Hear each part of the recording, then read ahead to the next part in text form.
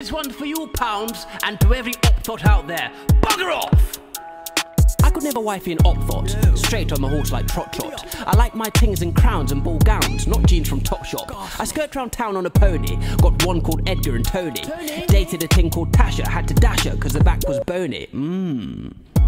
You can tell a man's making checks by the Burberry scarf that's draped to my neck.